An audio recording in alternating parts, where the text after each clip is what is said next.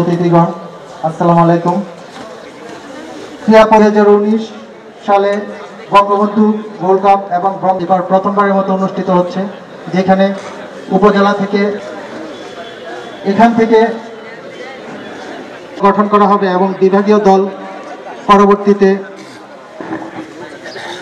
এবারে স্বাগত বক্তব্য বঙ্গবন্ধু শেখ মুজিবুর রহমান জাতীয় gold cup football tournament tournament বালিকা অনূর্ধ্ব সতেরো দুই হাজার উনিশে।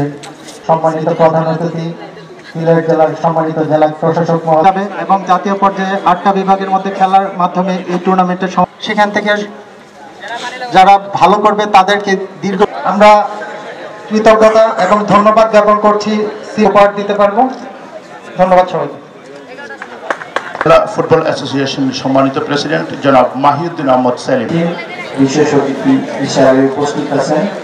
যারা ওনার ওনার ওনার মিসেস কিন্তু হচ্ছেন আমাদের মহিলা ক্রীড়া সংস্থার সেক্রেটারি চেতনায় উদ্বুদ্ধ করার জন্য এই টুর্নামেন্ট ধন্যবাদ।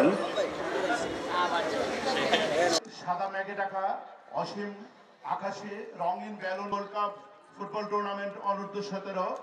উনিশ সবাইকে জুড়ে করে তালে শরতের সাদা মেঘে ঢাকা নীল আকাশে, রঙিন এইমাত্র আনুষ্ঠানিক উদ্বোধন হলো সিলেট জেলা পর্যায়ে জাতির পিতা বঙ্গবন্ধু শেখ মুজিবুর রহমান জাতীয় গোল্ড কাপ ফুটবল টুর্নামেন্ট বালক অনূর্ধ্ব সতেরো।